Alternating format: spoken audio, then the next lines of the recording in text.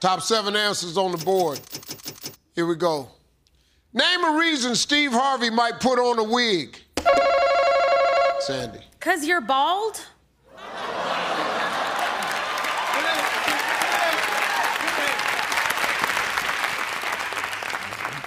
Maybe, maybe I want to be. Cause you're got three bald bald. I'm about to ask you nothing, Sandy. Cold, Steve. It's cold.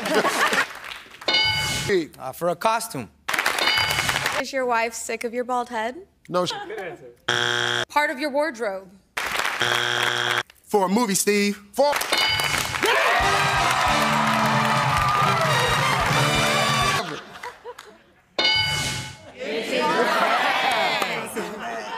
Number four, drag.